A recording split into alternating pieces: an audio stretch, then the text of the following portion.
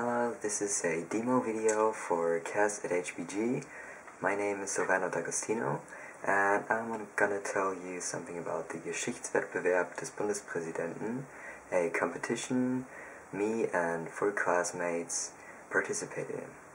So this competition is a competition set up by the Bundespräsident, by the President of Germany, to get teenagers more interested in history case itself had to be chosen by us, but there was a general topic given which was that the text we would be writing should be about an affair which had happened around our region. So me and four students of my class and our history teacher sat down together and search, started searching for topics on the internet and soon we found the case um, Kalamak. Kalamak is the name of, of um, some woman who was later for a short time arrested because of procuration. And it was one of the biggest affairs one of the biggest procuration affairs in the 1920s during the Weimar Republic. And we, we started to, to do a lot of research, you know, we went to to the um, public library, we went to university, had a talk to to certain persons who would also do research on this thing, we found out that there was um, uh, a theater and theater play in Bremen here about this whole thing, and we also went to the public record office to look for for all the documents that were written, and it, it really was a very interesting time, and we, we it took us a long time writing our texts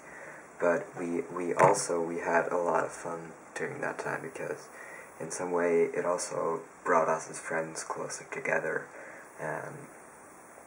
it, it really was a nice time. And I, I personally I believe why I did this even though I knew it would be like a lot of work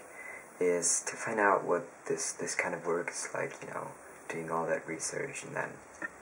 getting into writing about it and actually we the the maximum of pages we we were allowed to write was 50 and in the beginning we thought like 50 one can never achieve that. But soon soon we, we really recognized that 50 pages is not a lot of work if you once you get started because it, it really is just you know once you start writing you, you get to write a lot and so so we really got to know this kind of work which was very interesting. And also I think it was kind of kind of a preparation for for the IB diploma for the extended essay and stuff. And also for for college or university later on it, it will really be an experience that will help me. And I guess that you know the sooner you you make this experience the better it can be for you. So, all in all, I, I really had a good time, and I would totally recommend doing this kind of work to anyone because it will just just help you and it will get you it will get you focused on work also, which I guess is also a big part in the IB diploma, and